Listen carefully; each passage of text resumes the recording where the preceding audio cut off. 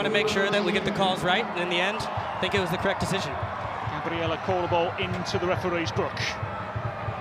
So,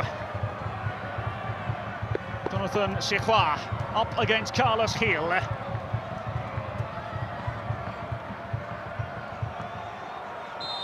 On the cusp of half-time, Carlos Gil scores.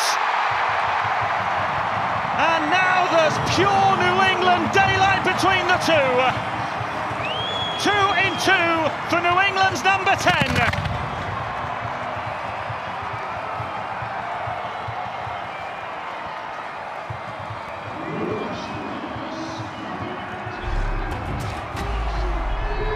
Carlos Gil just steps up with a little stutter step, cool as you like, right down the middle, just lifts it up, never looks pressured, never looks pressed, always calm on the ball.